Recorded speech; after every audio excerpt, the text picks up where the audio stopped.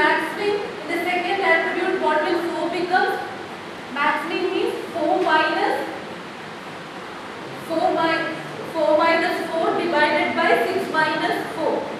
In, in that way you have to normalize the normalize the data. So this is uh, this is the way um, or else if you are using some distances depending upon the uh, units we are using some has very big values. Some have some attribute will have small small values right? So to make it to avoid the differences we will try to make the values of all the attributes in some range. So that is for the uh, normalization. Otherwise in the cases when we take the distances distance between two points is first attribute of one data minus for example 1 2 and 3 4 distance is 1 minus 3 the whole square plus right that is how we take the Euclidean distance so if the attribute of sum is very high value that will predominate in the distance calculation so to avoid that we will normalize the values of all all attribute values. So you can use either Z-score or max-min, max-min normalization. So, uh, so you have seen a very simple algorithm KV and we have seen how to, at least you got some idea about how to divide the data, different performance measures we are using and with that we go to the next algorithm which is naive Bayes algorithm. Okay? So it is based on the Bayes theorem. Are you aware of the Bayes theorem? Bayes theorem. It is that is it is what is it? It is probability. Okay? Probability of y given x. What is the meaning of that? X has happened. If so, what is the probability of, for example, P y, if it is a uh, 2 plus problem, P of y is equal to 1 given x. How will you interpret it? What is the probability that the x given to the positive sum?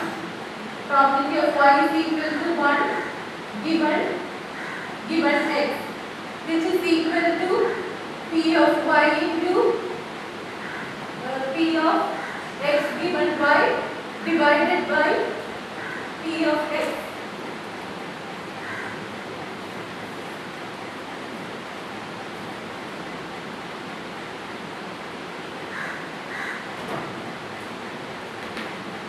Uh, for example, if I have two urns, urn number 1 and urn number 2 and if it has 5 apples and 3 three oranges and uh, this has 2 apples and 7 7 oranges okay so at the first the number of oranges more right 3 plus 7 10 oranges are there and only 7 apples are there Okay, right? There are two urns are there or two boxes are there and in the first box there are five apples, three oranges. In the second one there are two apples and seven oranges. Seven oh, okay, seven oranges. Uh, if we know that the first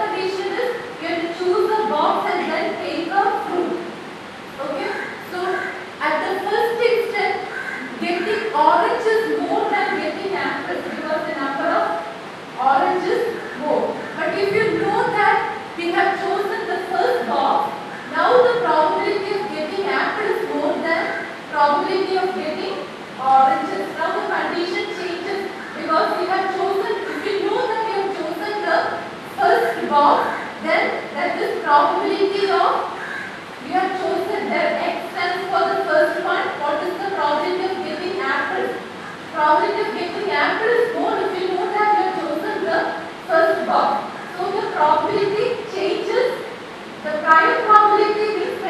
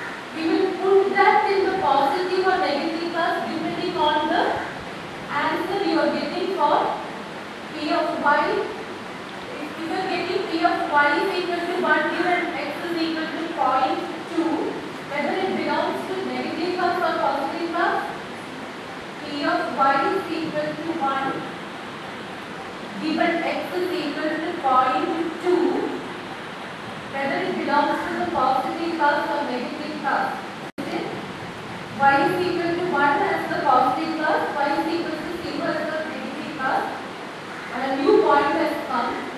I have to find p of y is equal to 1 given x and getting the answer as 0.2. 0.2. Uh, So that is p of y is equal to 1 given x is 0.2. Now as per you, this x belongs to positive class or negative class.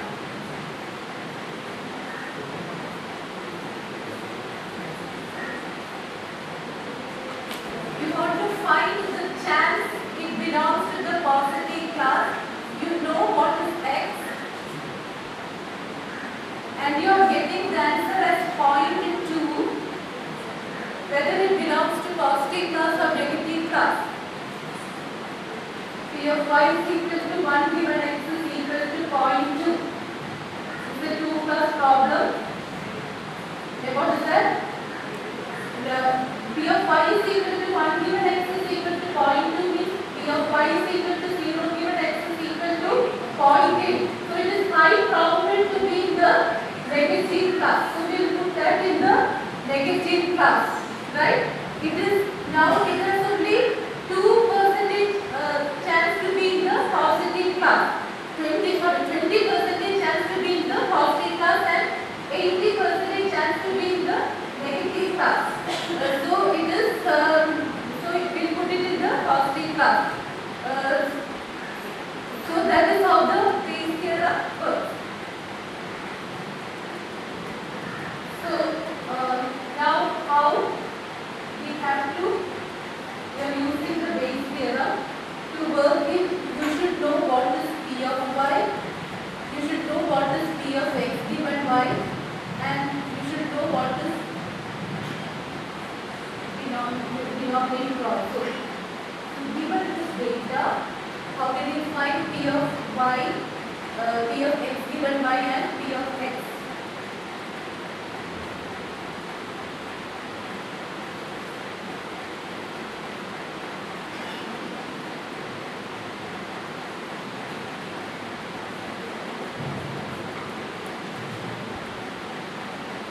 So this is a two-class classification problem. One new data is come, you want to find whether it belongs to the positive or negative class. So either you find p of y is equal to 1 given x or you find p of y is equal to 0 given x because one is the complement of the other. So depending upon that answer you can decide whether it belongs to the positive or negative class. Now let's see how to solve the problem. I'll write some data. So, this is attribute A1, attribute A2 and this is the y value. This is first point x1 and transpose. Actually we write in the column format. So and then x2 transpose is 1, 3, 0. x3 transpose is negative 1, 1, 1. x4 transpose is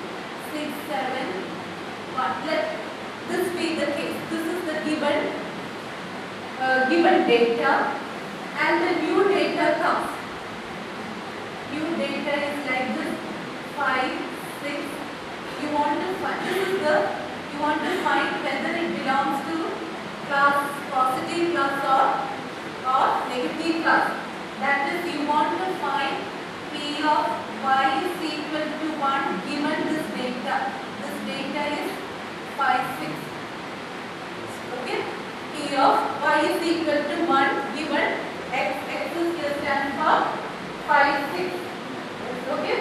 That is required by x1 transpose, right? Usually it is the, we write it in the column format, I write that in the row format. How many attributes are there? Two attributes are there and the training point is 4. 4 data points, 2 attributes are there. This belongs to the positive, this negative. So first to find this, you want to find P of y, the prior probability. Can you say what is P of y? P of y is equal to 1. P of y is equal to 1 given x is P of y is equal to 1 into P of x given y is equal to 1 by P of x.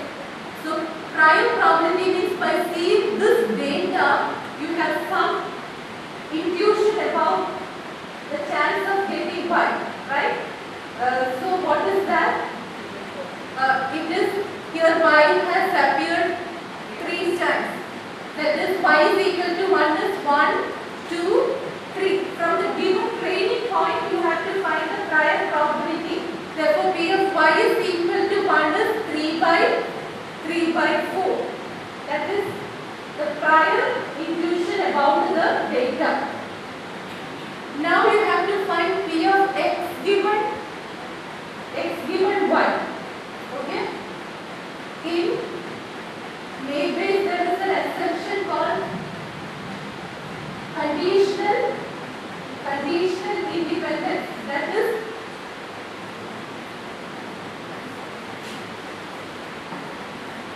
P of x given y.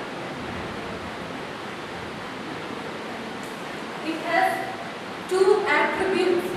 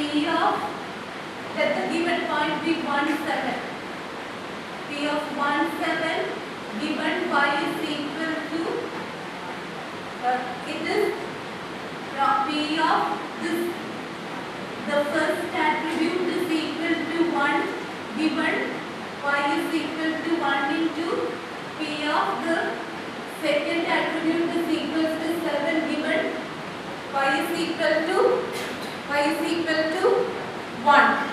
Alright? So how will you find it there? You have to take the those sets for which y is equal to 1 out of which what is the answer for this p of a is equal to 1 given y is equal to 1 here uh, here it is 0 uh, that is I just randomly wrote it. Uh, so 8 a to c equals to 7 given y is equal to 1 it is 1 by 1 by 1 by 4 or 1 by 3 1 by 1 by 3 that is how you have to that is you have to uh, find it. That is here is an assumption called conditional independence. That is once you know the values of y these attributes are independent. Therefore p of x given y is how can you write it it as it is what how do you write it as p of first attribute given by into p of second attribute given y to? P of nth attribute given y right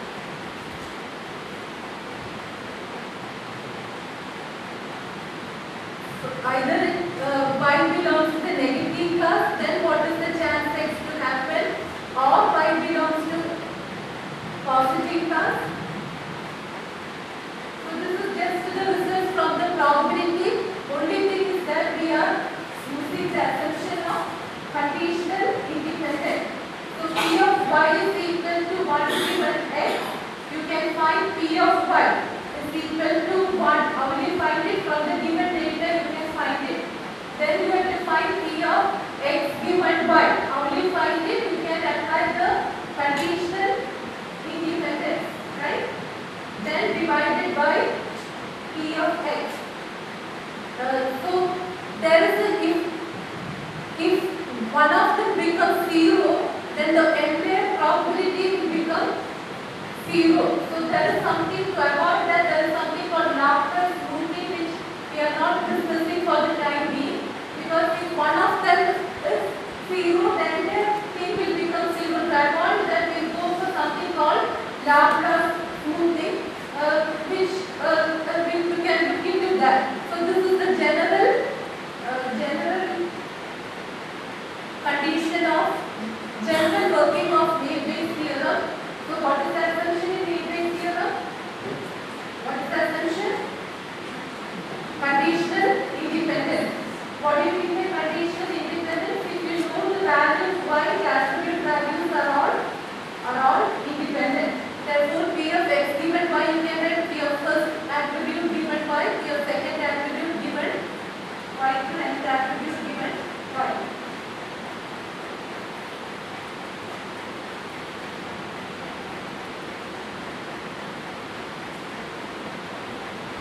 So uh, here we assume that the attributes are discrete values. Then only the you know then only you can calculate the probability, right? If you take any arbitrary values,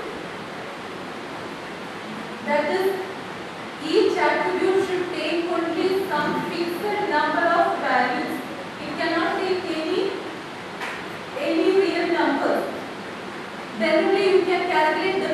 Uh, if I just arbitrarily write 5 or 6 uh, from the given data, it is impossible to, uh, you should know that each attribute will take only some fixed, some number of values. You cannot take any arbitrarily, any real numbers. Uh, then only with the number of experiments, either head or tail, it then you can repeat the experiments and calculate how many times head or how many times tail has occurred. So the number of the result of the experiment is defined. Uh, in the same way, the number of values each attribute can take that should be discrete. Then only uh, you can uh, take the number of data and can find the find the uh, probability. It is not continuous values. Okay? So, uh, you got the basis of probability. Okay, this uh, machine learning means it is not just uh, some uh, uh, gimmicks with the algorithms, right? It involves a lot of statistics, optimization techniques, or um, a probability, a lot of mathematics is involved. Maybe you will see only the one side, people doing wonders with this uh, algorithms, but there is how it works, how that algorithm works, it involves a uh, lot of these concepts. Mathematics concepts are involved. Anybody can take one software and can do the uh, do the work. That is the end user job. But once you want to develop something, you should know the theory behind how this algorithm is working. Uh, otherwise, anybody can use it, take the software and can run it without knowing what is uh, inside it.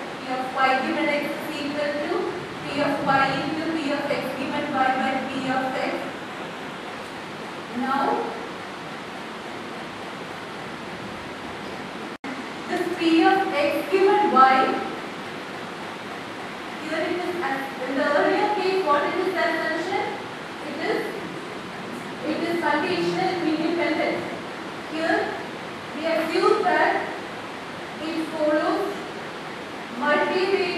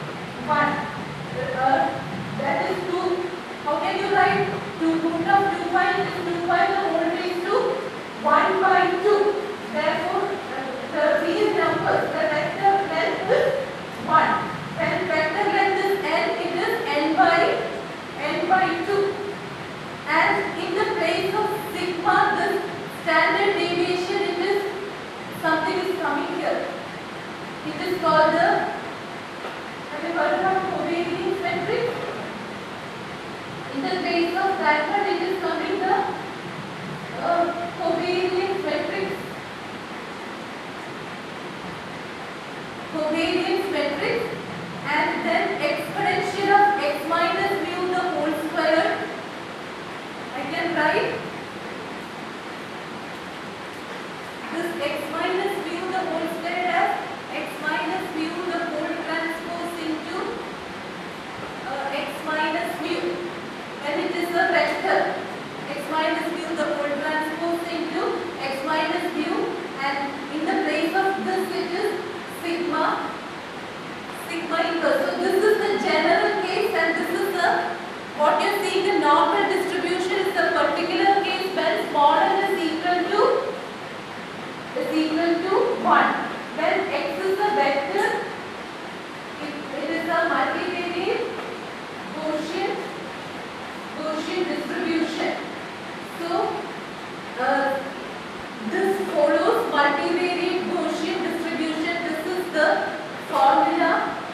what is mu 1? If you want to find P of x given y is equal to 1, mu 1 is the mean of the positive half and mu 0 is the mean of the